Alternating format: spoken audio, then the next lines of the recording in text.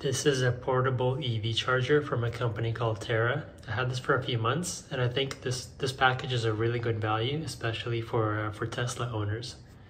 Um, here on one end, we have a NEMA 1450 uh, plug that goes into your outlet.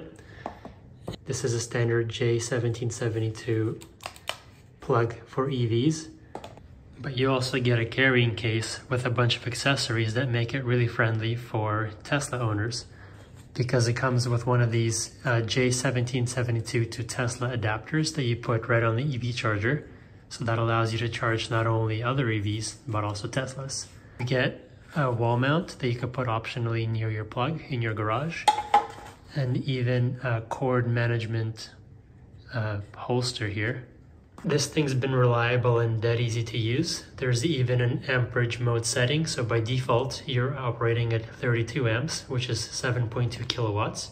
Uh, but you could go as low as 8 amps if you want to.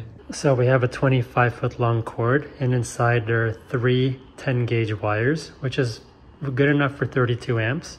And here I attached the included NACS Tesla adapter. So just a matter of plugging in and it's going to begin charging. There we go. Here on the display, we could see it's operating at the 32 amp mode. We could see the line voltage to 241 volts. And in just about 19 minutes of operation, we've added two and a half kilowatt hours. That's pretty good. So it's operating at 7.2 kilowatts when it's at 32 amps.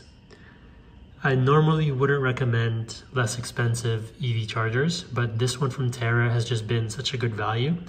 It's often discounted, comes with a good warranty, and it's been really just trouble-free to use.